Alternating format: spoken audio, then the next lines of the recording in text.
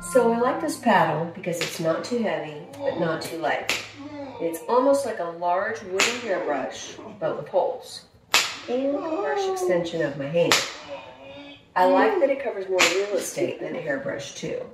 With proper usage, it will wreck errant backsides and bring forth good behavior for months to come. Really good. Because I'm wrecking your backside. Months to come.